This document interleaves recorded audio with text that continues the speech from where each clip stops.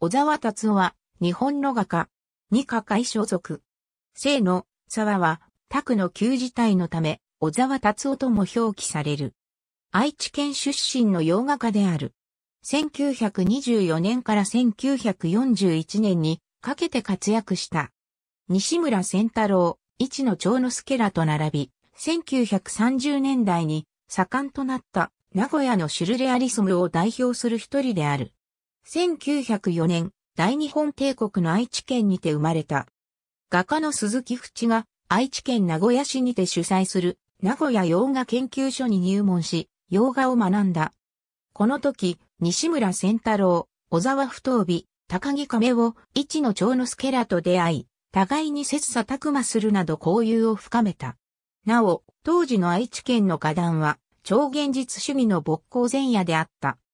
愛知県在住の詩人である山中千流がフランスの超現実派と書簡で頻繁に交流していたことから愛知県には東京府を経由せずともフランスの超現実主義に関する情報が直接もたらされていた。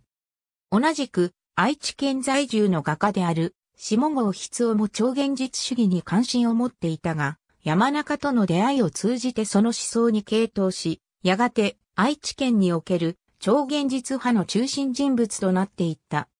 その結果、愛知県の文化人らの間で超現実主義のムーブメントが起こり、特に愛知県名古屋市は当時の超現実派の一大拠点となった。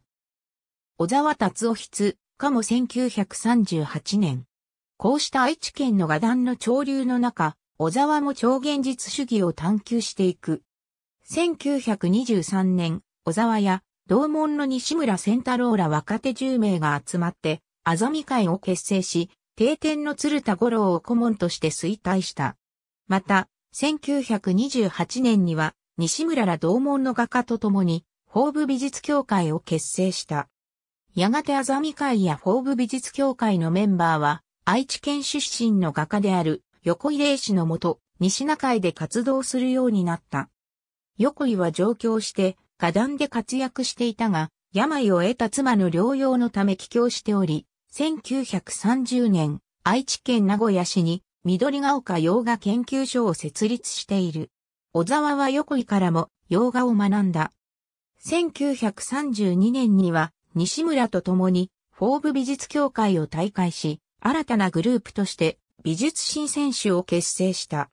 こうした運動を通じて小沢は1930年代の名古屋の超現実派を代表する一人と目されるようになる。しかし、1941年に死去した。最も期待していた小沢が創生したため、横井霊氏は大いに落胆したという。1941年に太平洋戦争が勃発したことから、戦火の中で小沢の多くの作品が失われていった。愛知県美術館の調査によれば、戦火をくぐり抜け21世紀まで残存した作品はわずか2点とされている。だが、生前の活躍から小沢は名古屋の超現実派の重要人物と位置づけられている。1938年に発表された油彩画であるカモは愛知県美術館に収蔵されており、かつては常設展示されていた。ありがとうございます。